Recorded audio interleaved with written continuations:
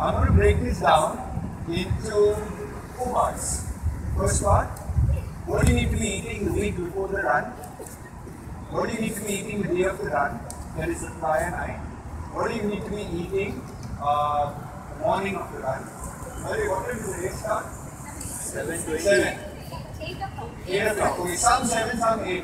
What time do you think you need to get up? Two hours, three hours. Huh? Two Okay, hours. first quick tip. I, I'll just jump to that part. Get up at 4 o'clock and then go back to sleep again. Or get up at 3 o'clock and go back to sleep. You why you need to get up and go back to sleep again. Uh, the, the, the, the third thing that I was talking about is during the race, what should you be doing? Okay, for those of you who are veterans, you already know it. Those of you who are first time runners, I'll give you a few tips during the race what you need to do.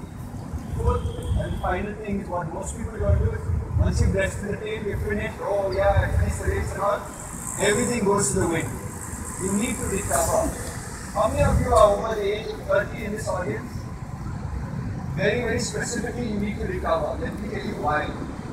Uh, uh, a 10k distance can damage your body. It can damage your body long term. So the thought process is fueling. Eating the right food will really help you recover. Those under 30 don't feel that I don't need to do this. You want to be running for the next 20, 25 years of your life. Your body is like an expensive car. Right? How many of you take it servicing every month? So that's the thought process. So let me start first. What do you need to be doing this uh, this entire week? Any of you were there for the last lecture? Raise of hands. Last lecture, which was about three weeks ago. Okay, I'm quickly going to go into the top five foods that you need to be having this week. The top five foods that you need to be having this this week.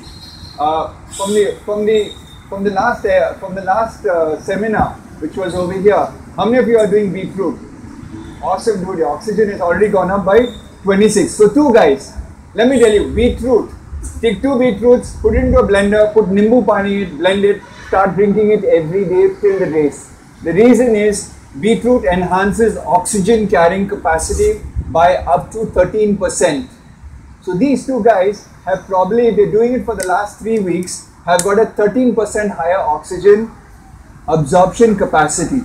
Now, as an athlete, right, you require two things. You require oxygen and you require glucose.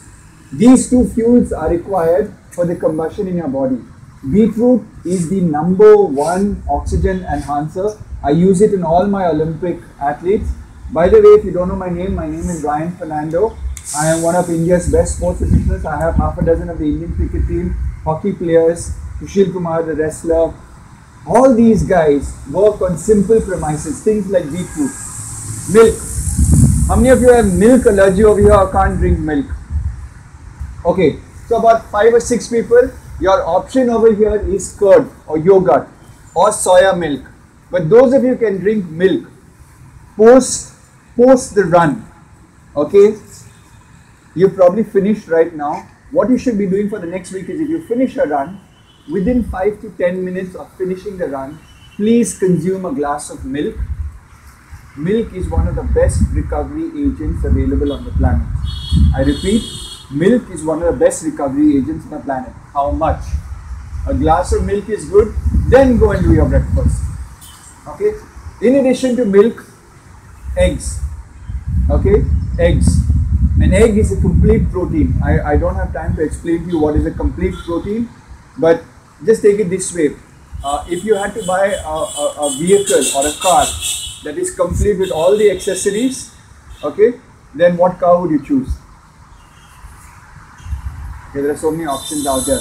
But but but the car of the year in the sedan version apparently I read yesterday was the Elantra, which has all the features and everything and it won many awards and everything.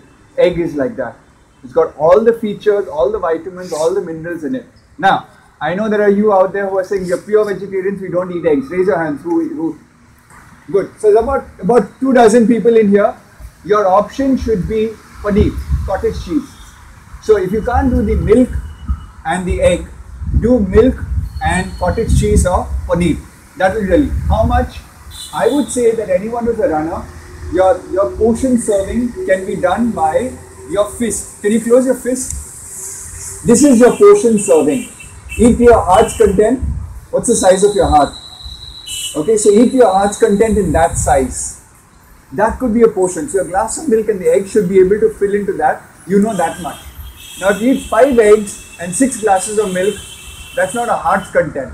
That's your full body's contents. Okay, so go easy. Most of you are running for fitness to get your body back into shape or to be in shape continuously. So I've got with beetroot, I've gone with uh, milk, I've gone with uh, with eggs. Uh, question that somebody asked me: When do I take beetroot? You can take beetroot any time of the day.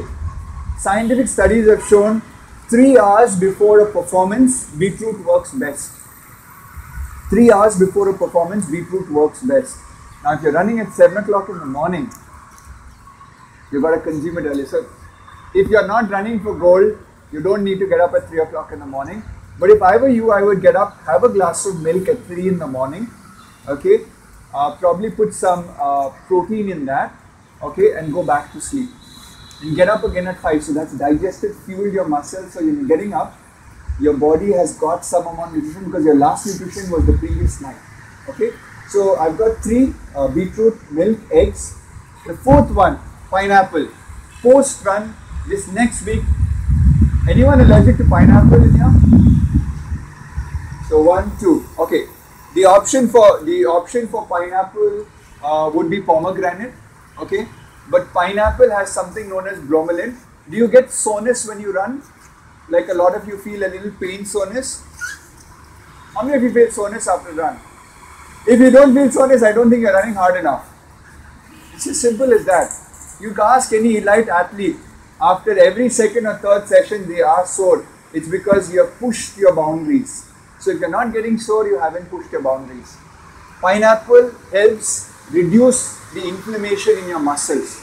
There are a lot of people pop painkillers and stuff like that. Don't pop a painkiller. Eat four bowls of pineapple. In fact, pineapple is a fat burning food. You want to burn a little of the tires off? Three bowls of pineapple a day.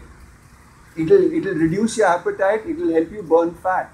So a lot of people, you know, they say, I try this diet, I try that diet, I do this. They come to my clinic and they say, uh, Ryan, I've been practicing this so and so so and so diet, Atkins diet, GE diet, GM diet, South Beach diet, cabbage diet, uh, Baba Ramdev diet. There is no one diet that fits everybody. Your diet is unique to you. You need to discover what is your capacity.